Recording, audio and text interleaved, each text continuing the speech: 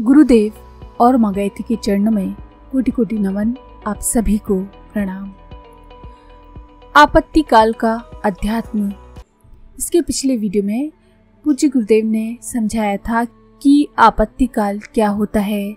आपत्ति काल में सामान्य जीवन क्रम को छोड़कर आपत्ति काल के अनुरूप कार्य करना चाहिए।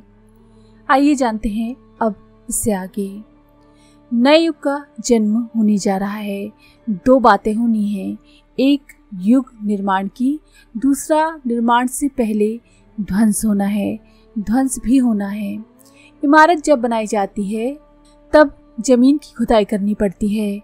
पीछे मिट्टी डालकर कुटाई पिटाई करते हैं और गड्ढे को ठीक करके तब दीवार की चिनाई की जाती है। नया मंदिर बनेगा। खंडहरी, दीवार तोड़ो तुम। ये गीत लड़कियाँ गाती रहती हैं। आपने सुना नहीं है? भगवान के जब अवतार होते हैं, तब एक काम नहीं करते। मात्र धर्म की स्थापना करते हुए नहीं आते। वरन अनिति का ध्वंस भी करते हुए आते हैं। भगवान जब अवतार लेते हैं, तब कल्याण करते ही नहीं आते। वरन सफाया करते हुए भी आते हैं। सफाया किए बिना नया नहीं बन सकता। निर्माण के लिए ध्वंस आवश्यक है। ध्वंस के बिना निर्माण संभव नहीं। दोनों चीज़ें आपस में मिली हुई हैं। एक चीज़ का ध्वंस होता है तो दूसरी चीज़ का निर्माण होता है। एक आदमी मरता है तो दूसरा जन्म लेता है। नई पीढ़ी पैदा करेंगे। बहुत शानदार नई पीढ़ियाँ पैदा होंगी। अवतारों की प्रक्रिया के साथ में दोनों बातें एक साथ जुड़ी हुई हैं, एक और ध्वंस की और दूसरी ओर निर्माण की। परित्राणाय साधु नाम विनाशाय चा दुष्कृताम।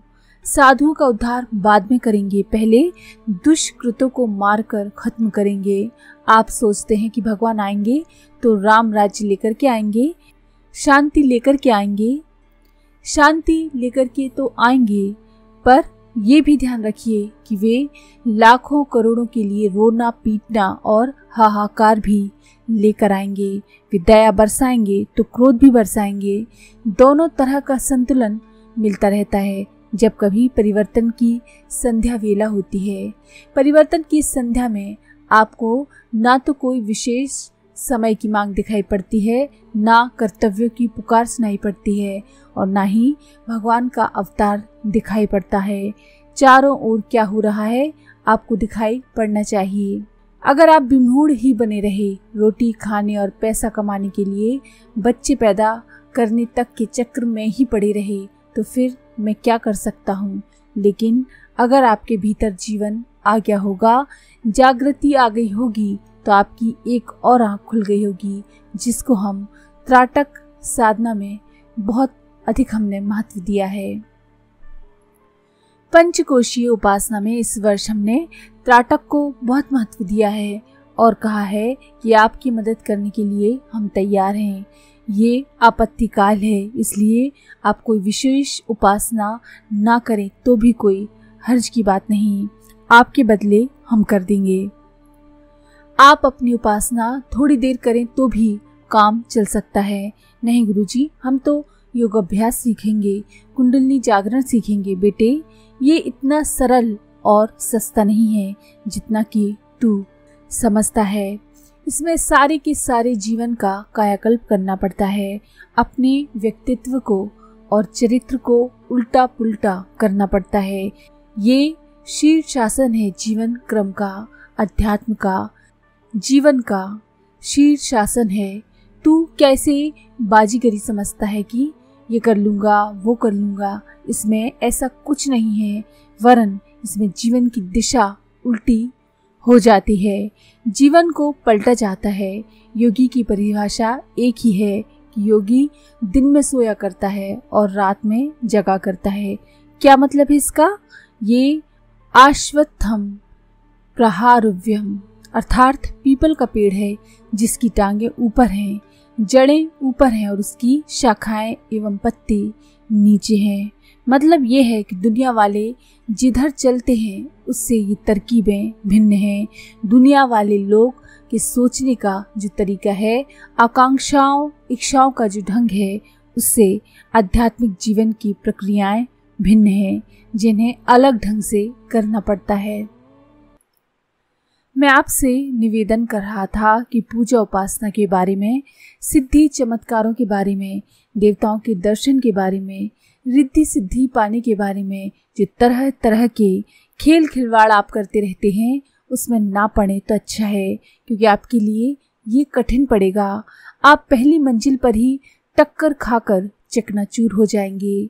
जब आपसे ब्रह्मचर्य के लिए कहा जाएगा कि शारीरिक ब्रह्मचर्य उतना आवश्यक नहीं, जितना कि मानसिक ब्रह्मचर्य आवश्यक है, तब आप दांत निकाल देंगे और कहेंगे कि शारीरिक ब्रह्मचर्य तो हमसे सत्ता नहीं, फिर मानसिक ब्रह्मचर्य की बात ही अलग है। 24 घंटे हमारा दिमाग और आँखें दुराचार में लगी रहती हैं।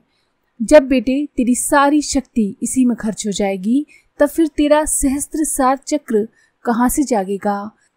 सहस्त्र सार चक्र में लगने वाली सारी शक्ति इसी में लय कर देंगे, तब फिर वो जागेगा कैसे? सहस्त्र सार को जागृत करने वाला जो प्रकाश है, वो तो आपकी आँखों के रास्ते सारा का सारा वाइब्रेशन तरंगों में से नष्ट हो जाएगा। फिर आप कहेंगे कि गुरुजी, हमारा सहस्त्र सार जगा दीजिए तो कैसे जगाए हम? इसके अंदर जो गर्मी थी, ऊर्जा थी, वो तो तूने खत्म कर दी। इसी तरह आहार के आधार पर जो तेरा रक्त बनता है, जिससे बनता है मन तमुगुड़ी अन्न, अनीति बेईमानी से कमाया हुआ अन्न, हराम का कमाया हुआ अन्न खा कर के तूने उसे तमोगुड़ी बना दिया है। उसे मैं कैसे स्थिर कर दूँ? सारे का सारा अन्न जिसे तू खाता है, उसमें तमोगुण ही तमोगुण भरा हुआ है। पूरा परिश्रम चुका करके जो अन्न खरीदा नहीं गया, वो भी बेईमानी का है। केवल चोरी या डाका डालकर लाया गया अन्न ही नहीं, ये भी अभक्ष होता है। प्राचीन काल में पिपलाद ऋषि, कड़ादि ऋषि एवं अन्य दूसरे ऋषि सबसे पहले इस बात के लिए योग अभ्यास करते थे कि हमारे आहार के लिए अन्न कहाँ से आता है, जिससे हमारा रक्त बनता है, शरीर बनता है, जिससे हमें अच्छा कर्म करना आता है और हमारा मन जिसमें अच्छे विचार आते हैं, वो कहाँ से बनता है? अन्न से बनता है। बेटे, कान में उंगली लगा लेना या हर वक्त नाक में से प्राणायाम कर लेना भर।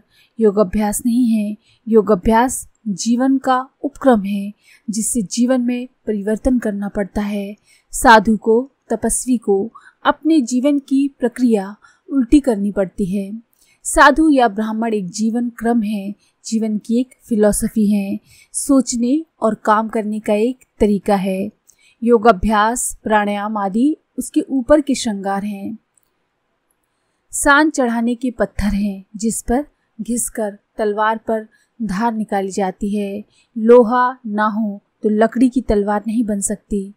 अध्यात्म मार्ग पर भगवान की कृपा, अनुकंपा पाने के लिए, सिद्धियाँ प्राप्त करने के लिए आत्म शांति प्राप्त करने के लिए सबसे ज़्यादा एक ही चीज़ की ज़रूरत है। दूसरी, कोई नहीं और उसका नाम है व्यक्तित्व का परिष्कार। इसके लिए वहाँ से साधनाएँ शुरू करनी पड़ती हैं। जहाँ से मनुष्य के आहार और व्यवहार को संयमित करना पड़ता है। इंद्रियों पर संयम करना पड़ता है। काम इंद्रियों पर संयम करना पड़ता है। ये शुरुआत है। फिर मन का संयम करना पड़ता है। ये एक साइंस है। उपासना में मन को अस्त व्यस्त नहीं जाने दिया जाता। उसे कहा जाता है कि हमारा और हमारे भगवान का संबंध है। आप यहीं रहिए। इतने पर भी यदि मन भागता है तो भगवान की किताबें पढ़िए, भगवान की शक्ल देखिए, भगवान से बातचीत कीजिए। बातचीत नहीं कर सकते तो भगवान का ध्यान कीजिए। ज्ञान, ध्यान की बात करके, मन को पकड़ करके रखिए। आज के लिए इतना।